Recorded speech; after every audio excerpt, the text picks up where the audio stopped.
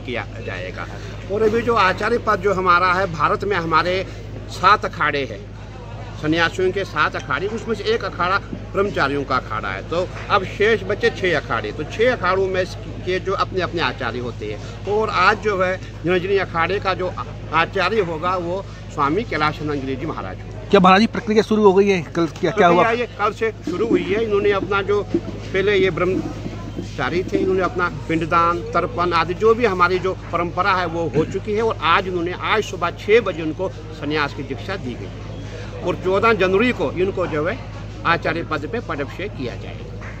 ये कौन से कितने आचार्य कौन से नंबर है जिनका आचार्य का जी? नहीं आचार्य सब बराबर होते हैं। जुना का। आचार्य अग्नि का आचार्य हमारा आचार्य आचार्य सब एक जैसे हैं। जैसे आज आज क्या कार्यक्रम आज इनका जन्मदिन था और आज इनका जो है पहला संन्यास का दिन है उसी का जो कार्यक्रम है। ठीक हुई।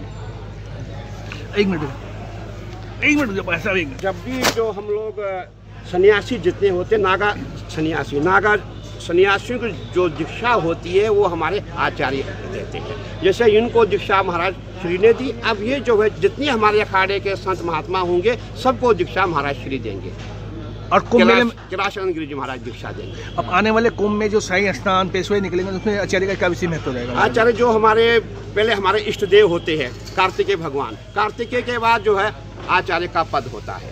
तो उनको हम भगवान की तरह से अपना गरिमा उनकी रखते हैं। आचार्य पद के पाने के लिए क्या क्या योग्यता होती है जी? आचार्य पद पाने के लिए आदमी को विद्वान हो, होना चाहिए। और वैसे हमारे यहाँ परंपरा है कि हमारे अखाड़ों के आचार्य पद के लिए ब्राह्मण जाति का होता है उसके लिए यश कीर्ति ख्याति पूरे भारत में होनी चाहिए और उसकी जो भी सेवाएँ हैं वो होनी चाहिए।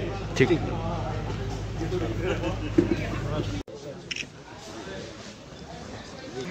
महाराज ने भेज दिया था। आज उसका पूर्णावती हो जाएगा।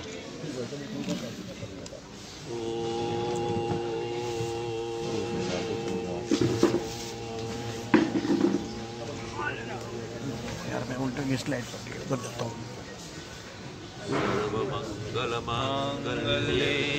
शिवे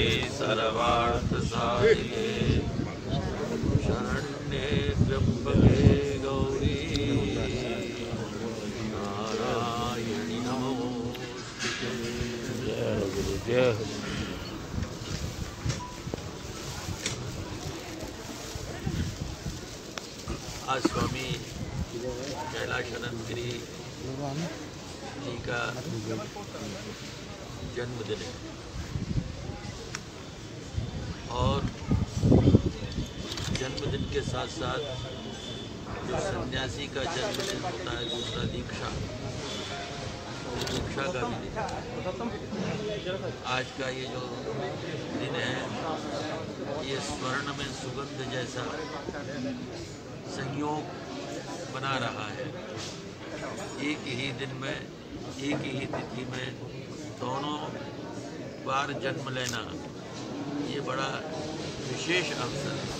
सामान्यतः ऐसा नहीं होता कि जब जन्म की भी वही तारीख हो और संन्यास की भी वही तारीख हो। लेकिन इनका जन्म और संन्यास दोनों की तारीख एक ही है। ये एक लक्षण संयोग है। और वैसे भी हमारे तो चेले ही है। ये भले ही सब गुरु हो जाएँगे लेकिन हमारे तो चेले ही रहेंगे। और हर गुरु की ये इच्छा होती है कि उसका चेला उससे बड़ा उत्कर्ष प्राप्त करे। तो उन ऊंचाइयों तक पहुँचे। कैलाशानंद गिरी महाराज। इनको जो है चौदह जनवरी को आचार्य महामंडलेश्वर पद पे नियुक्त किया जाएगा और इसके साथ ये भी है कि जो इनका आश्रम है यहाँ का जो आश्रम है ये ये ये है। काम हाँ। ये ये ये ये ये ये हाँ, है। जनवरी को जो है पद आचार्य पद का विषय अखाड़े का निकाल। देखा आपने? जो आप गुरु नहीं देखा गुरु जी जो हम जब से महाराज ने संन्यास लिया है और हमने संन्यास लिया तब से इकट्ठे हम रहते हैं और तब से देखते आए अरे उनका महाराज जी। इतनी बड़ी ज़िम्मेदारी सनातन धर्म की मिलने जा रही है आपको। निरंजनी अखाड़े के आचार महामंडल कैसे निभाई निरंजनी अखाड़ा एक बहुत महत्वपूर्ण अखाड़ा है और संन्यास परंपराओं में निरंजनी अखाड़ा एक अद्वितीय अखाड़ा है। वहाँ के बहुत सारे महापुरुष तपस्वी विद्वान साधक और धर्म प्रचारक हमारे भारतीय परंपराओं में निकले हैं। आज उस अखाड़े में, क्योंकि मैं अग्नि अखाड़े का ब्रह्मचारी था। ब्रह्मचारी किसी भी अखाड़े में जा सकता है। ब्रह्मचारी, अग्नि अखाड़े का आनंद, प्रकाश, चेतन और स्वरूप चार ब्रह्मचारी होते हैं। चारों ब्रह्मचारी किसी भी अखाड़ों में जाकर के संन्यास ले सकता है। किसी से भी संन्यास ले सकते हैं आज मैं पूज्य हमारे जगत गुरु जी जगत गुरु आश्रम के परमाध्यक्ष, हमारे पूज्य गुरु जी, ने आज मुझे संन्यास की दीक्षा दी और मेरा नामकरण आज कैलासानंद गिरी रखा गया। तो मैं आज निरंजनी अखाड़े का जो आचार्य पद पर मुझे अभिषिक्त अखाड़े के सभी पूज्य संत कर रहे हैं। पूज्य हरिगिरी जी महाराज के नेतृत्व में उनके देख रेख में पूज्य हरिगिरी जी महाराज, पूज्य रविंद्रपुरी जी महाराज की संरक्षण में यह पूरा सारा कार्य होने जा रहा है। ये संदेह यह कार्य अत्यंत महत्वपूर्ण है। इस कार्य को किस प्रकार से गरिमामय पद को हम सुशोभित कर सकें, इसके लिए सभी कुछ संतों से मैंने आशीर्वाद और आशीष मांगा है। तो मुझे आशीर्वाद दें। मैं श्री पंचायती निरंजनी अखाड़े की परंपराओं को लेकर के पूरी दुनिया में बढ़ा सकूँ और उस परंपरा की ख्याति को अग्नि अखाड़े में बहुत सी संपत्तियाँ थी जिनकी आप देख रेख कर रहे थे। अब उनका कैसे एक पद भी था वहाँ पद था एक गुण पद था। क्योंकि वर्तमान में मैं सन्यासी हो गया मैं उस पद से च्युत हो गया।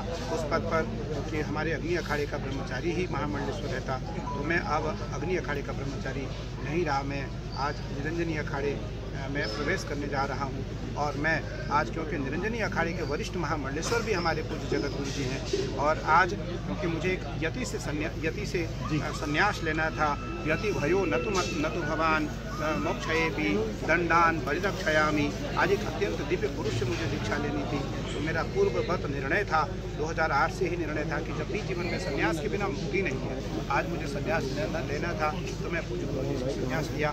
अग्नि अखाड़े की परंपराओं के अनुसार कुछ ऐसे आश्रम हैं जो स्वतः हमें हैं। इस यह आश्रम जो हमारा आज आदिशक्ति महाकाली सिद्ध आश्रम है, क्योंकि इस आश्रम को मैं निरंजनी अखाड़े का आचार्य पीठ निरंजनी अखाड़े का यह आचार्य पीठ घोषित होगा।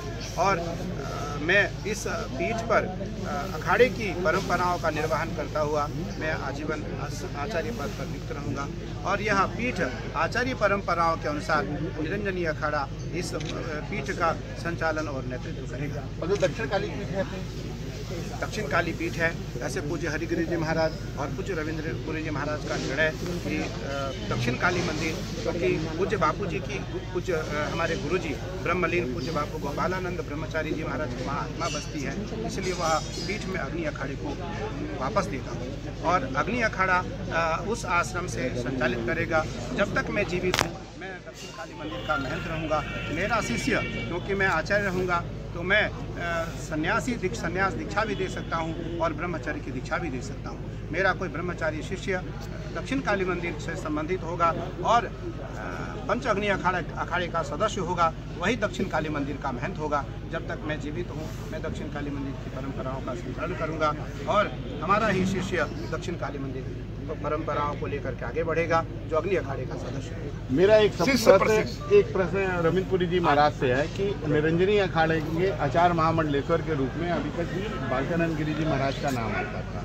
तो अब उनका क्या बालकानंद गिरी जी महाराज आनंद अखाड़े के आचार्य हमारे अखाड़े के आनंद अखाड़े। अच्छा।